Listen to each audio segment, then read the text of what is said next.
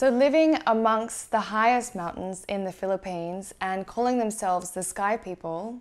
the Ifugao are masters of terracing and they use water and soil and rocks as construction techniques and tools. And the terraces that they form are unique micro watersheds that serve as rainwater filtration systems for the waters that are passing through this mountain landscape.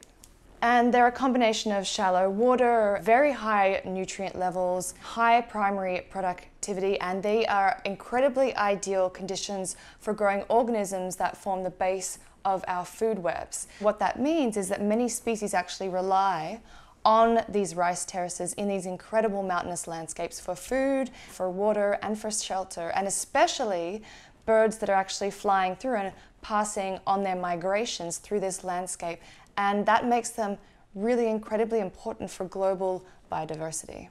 So these constructed rice terraces are actually one of our most important ecosystem and they act as these massive absorption and water purification systems as well as nutrient and biodiversity storehouses with a scale and a steepness that's really synonymous with our skyscrapers in our cities their biological performance has the potential to really inform how do we integrate landscapes into our vertical cities, the vertical landscapes of our cities.